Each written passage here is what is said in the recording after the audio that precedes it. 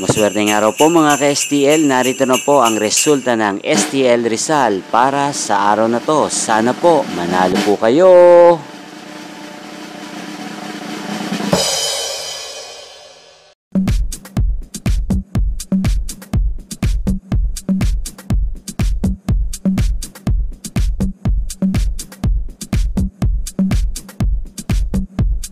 Congrats po sa lahat ng mga nanalo. Maraming maraming salamat po sa patuloy niyong panonood sa aking channel. Huwag pong kalimutang mag-subscribe. Thank you for watching.